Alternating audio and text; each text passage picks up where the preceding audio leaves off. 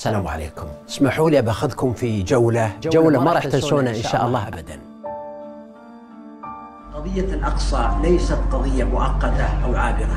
الأقصى في قلوبنا.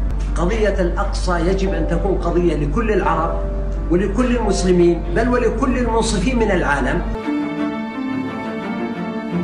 مطلوب نصرة هالقضية ونصرة هالشعب الأعزل بالمقدور بالمستطاع بالممكن بالواقعي. ولو كان قليل ولا تحقرن من المعروف شيء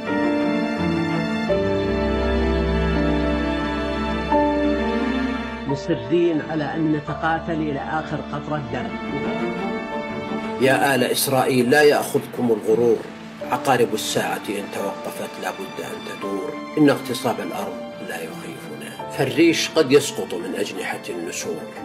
والعطش الطويل لا يخيفنا فالماء يبقى دائما في باطن الصخور أسأل الله أن ينصر إخواننا المظلومين وأن ينتصف من الظالمين وأن يحرر المقدسات من قبضة المعتدين وأن يقوي عزائم المسلمين أجمعين ليقفوا في مثل هذه الأزمات والمصاعب وقفة رجل واحد. اشتدي أزمة تنفرجي قد آذن ليلك بالبلج وظلام الليل له سرج حتى يمحوه أبو السرج.